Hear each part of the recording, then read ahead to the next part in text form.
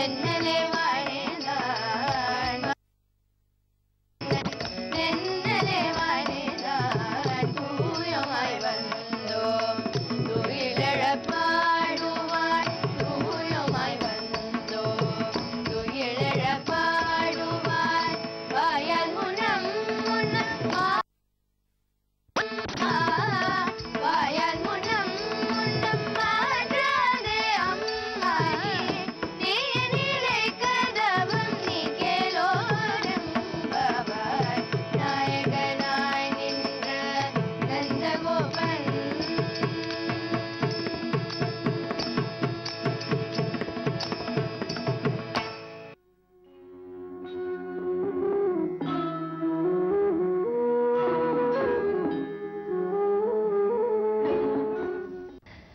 பதினாறாவது பாசுரமான இன்றைய பாசுரத்திலே நாயகனாய் நின்ற நந்தகோபனுடைய கோவில் காப்பானே கொடித்தோன்றும் தோரண வாசல் காப்பானே மணிக்கதவம் தாழ்திரவாய் ஆயர் சிறுமியரோமு கரபரமாயன் மணிவண்ணன் நென்னலே வாய் நேர்ந்தான் தூயோமாய் வந்தோம் துயிலழப் பாடுவார் வாயால் முன்ன முன்னம் மாற்றாதே அம்மா நீ நேய நிலைக்கதவம் நீக்கேலோர் எம்பாவாய்.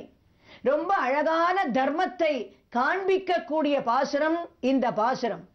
தோழிகளை எல்லாம் எழுப்பிக் கொண்டு நேரே நந்தபவனத்தினுடைய வாயிலுக்குள் வந்தாகிவிட்டது உள்ளே செல்ல வேண்டும்.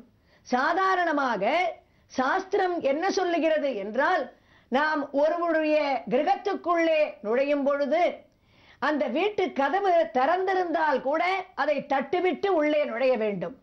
யாராவது பெரிய பங்களான்னா அங்க ஒரு வாட்ச்மேன் யாராவது இருப்பா. அவா கிட்ட விசிட்டிங் கார்டை கொடுத்து நான் வந்திருக்கேன் உள்ள வரலாமான்னு கேட்டுண்டு உள்ள நுழையணும். அந்த மாதிரி சாஸ்திரம் பேசுறது எதுக்காகன்னா திறந்திருந்த கிரகத்து நுழையணும்னா நாம உள்ள நுழையிற பொழுது அங்க இருக்கிறவா நம்மளை பத்தியே ஏதாவது ரெண்டு வார்த்தை பேசின்னு இருக்கலாம். நாம வரோன்னு தெரியாம அப்ப நாம உள்ள நுழைஞ்சா அவளுக்கும் தர்ம சங்கடமாகும் நமக்கும் தர்ம சங்கடமாகும். இதெல்லாம் தவிர்க்கணுங்கிறதுக்காகத்தான் உள்ள நுழையிற பொழுது அப்படி கதவை திறந்திருந்தா கூட தட்டிட்டு உள்ள நுழையணும். ஆண்டாள் பெரிய பாகவதோத்தமையாக வந்து நிக்கிறா வந்து நின்றாலும் நேர உள்ள நுழையல. உள்ள நுழையாம என்ன பண்ணா? அங்க இருக்கக்கூடாளே ரெண்டு துவாரபாலகாள் வாசல்ல நிக்கிறாளே. அவ ரெண்டு பேர்கிட்டையும் உத்தரவு வாங்கிண்டு உள்ள நுழையணும்னு. அவளுடைய உத்தரவை வாங்கக்கூடிய ஒரு பாசுரம் இந்த பாசுரம். நாயகனாய் நின்ற நந்தகோபனுடைய கோவில் காப்பானே. அதாவது நந்தகோபர் அந்த நந்தகோகுலத்துக்கு நாயகன். அதனால நாயகனாய் நின்றவர் நந்தகோபர். அந்த நந்தகோபருடைய நந்தபவனம். அந்த நந்தபவனத்தினுடைய வாசல்ல காவலுக்கு நிக்கிறவா ரெண்டு பேரும். நாயகனாய் நின்றவர்னா அந்த நந்தகோகுலத்துக்கு நாயகன் மட்டும் இல்ல இவருக்கு என்ன ஒரு பெரிய பாராட்டுனா என்ன மகிமைன்னா நாயகனாய் நின்றவர். எதனால நாயகனாய் நின்றவர்னா கண்ணன் தான் அவதாரம் செய்யும் பொழுது தான் பிறப்பது ஒரு இடம் வளரப்போவது ஓரிடம்னு ஒருத்தி மகனாய் பிறந்து ஓரிரவில் ஒருத்தி மகனாய் ஒழித்து வளர்ந்து என்று ரெண்டு இடத்தை தேர்ந்தெடுத்தார். ஒன்னு வடமதுரை இன்னும் ஒன்னு நந்தகோகுலம். அதே மாதிரி பகவான் சாதாரணமாக தான் அவதாரம் பண்ணும் பொழுது தனக்கு தாயார் யாரு தகப்பனார் யாரு என்று ரொம்ப நேரம் யோசனை பண்ணி ராமாவதாரத்திலே தசரதர் தகப்பனார் கௌசல்யை தாயார் கிருஷ்ணாவதாரத்திலே தேவகி தாயார் வசுதேவர் தகப்பனார் என்று தேர்ந்தெடுத்தார். நாம பிறந்த இந்த பூமியில தான் சுவாமியினுடைய அவதாரம். இருந்தாலும் நம்ம பிறப்புக்கும் பகவானுடைய அவதாரத்துக்கும் என்ன வித்தியாசம்னா நாம பறக்கச்சே நம்ம தாயார் தகப்பனார் நல்ல குழந்தைய தேடுறா. நம்ம பேரை காப்பாத்துற குழந்தையா பறக்கணுமேனு தேடுறா.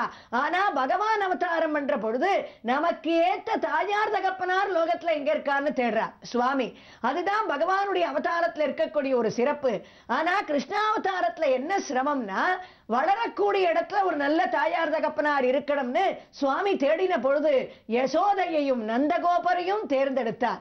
அதனால கண்ணனே தேர்ந்தெடுத்த ஒரு தகப்பனாராக நாயகனாய் நின்றவர் நந்தகோபர். நாயகனாய் நின்ற நந்தகோபனுடைய கோவில் காப்பானே. அதாவது நந்தபவனம்னு சொல்லல. நந்தகோபருடைய திருமாளிகைன்னு சொல்லல. அது எப்படிப்பட்ட இடம்? என்னுடைய கண்ணன் வாசம் பண்ணக்கூடிய கோயில். அதாவது வடபெருங்கோயிலுடையான எம்பெருமானியே கண்ணனாக தியானம் பண்ணிட்டு இருக்கா அங்க இருக்கக்கூடிய அந்த கோயிலையே நந்தபவனம்னு நினைச்சுட்டு இருக்கா அதனால நாயகனாய் நின்ற நந்தகோபனுடைய கோயில் காப்பானே. கொடி தோன்றும் தோரண வாசல் காப்பானே. இவா எல்லாரும் இருட்டுல வராளே. அந்த இருட்டுல அந்த நந்தபவனம் அடையாளம் இவாளுக்கு தெரியணுமேன்னு மேல சுவாமி கொடிய துவஜத்தை பறக்க விட்டுருக்கார். அதை பார்த்த உடனே இது கண்ணனுடைய நந்தபவனம்னு இவ அடையாளம் தெரிஞ்சு விட்டா கொடி தோன்றும் தோரண வாசல் காப்பானே. எங்க மாதிரி அப்படி எல்லா இடங்கள்லயும் தங்க தோரணங்கள்லாம் கட்டியிருக்கு. அவ்வளவு ஐஸ்வர்யம் நிறைந்த கிரகமாக இருக்கு. கண்ணன் வாசம் பண்ணக்கூடிய ஒரு கிரகமாக இருக்கிறதுனால கொடி தோன்றும் தோரண வாசல் காப்பானே. மணிக்கதவம் தாழ்திரவாய் ரெண்டு பேரையும் பார்த்து வா கேட்கிறா அந்த மணி கதவுகளை திறக்கணும். திறந்து எங்களுக்கு உள்ள நுழையறதுக்கு வழிவிடணும்னு பிரார்த்தனை பண்றா. அவ சொல்றா என்ன இந்த காலத்துல வந்து நீங்க எல்லாரும் இப்படி கதவை திறக்க சொல்றேளே அதுவும் எல்லாம் ஸ்திரீகளா சேர்ந்து வந்திருக்கேள். உங்களை எல்லாம் உள்ள அனுப்புறதுக்கே பயமா இருக்கு. ஏன் தெரியுமா? முத முதல்ல எங்க கண்ணனுக்கு ஆபத்து வந்ததே ஒரு ஸ்திரீயால தான் அவசரே கலு தத்ர சகாச்சன விரஜபதே மதுராகிருதி ரங்கனா தரள ஷட்பத லாலித குந்தலா. கபட போகத்தக்க தேனி கட்டம் கத்தான்னார் நாராயணீத்துல பட்டதிரி. பூதனையை வரவேற்கிற பொழுது அப்படி முதல்ல உள்ள வந்தவள் யாரு? பூதனை. கிருஷ்ணனை அழிக்கணுங்கிற ஒரு கபடமான எண்ணத்தோட. ஆனா உள்ள படுத்துன்னு இருக்கவன் ரொம்ப கபடமான குழந்தை. நீ வரப்போற உன் பாலையும் சாப்பிட போறான். நீ கொடுக்கிற விஷத்தையும் சாப்பிட போறான். நீ கொடுக்காத ஒண்ணு உன் பிராணன்.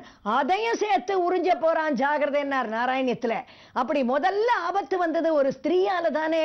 அப்படி இருக்கச்சே எங்க கண்ணன் இருக்கிற இடத்துக்கு உங்களை எல்லாம் நாங்க எப்படி உள்ள விடுறதுன்னு கேட்டா அப்பா பூதனை மாதிரி நான் நாங்கள் ஸ்திரீகள் இல்ல. நாங்க எல்லாரும் ரொம்ப சிறுமிகள். ஆயர் சிறுமியரோமுக்கு அரபரம் ஆயன் மணிவண்ணன் நென்னலே வாய்நேர்தான் நாங்கள் நாங்க எல்லாரும் ரொம்ப சிறுமிகள். எங்களால கண்ணனுக்கு எந்த ஆபத்தும் ஏற்படாது. அதுவும் இல்லாம நென்னலே வாய்நேர்தான் நாங்கள் நாங்க இங்க இன்னைக்கு உள்ள நுழையறதுக்கு நேத்திக்கே கிருஷ்ணன் கிட்ட உத்தரவு வாங்கியாச்சு. நாளைக்கு நீங்க வாங்கோன்னு கிருஷ்ணன் சொன்னபடி கிருஷ்ணன் உத்தரவு வாங்கிட்டு தான் நாங்க உள்ளேயே வந்திருக்கோம். நென்னலே வாய் நேர்ந்தான் தூயோமாய் வந்தோம். நாங்கள்லாம் சாதாரணமா வரல.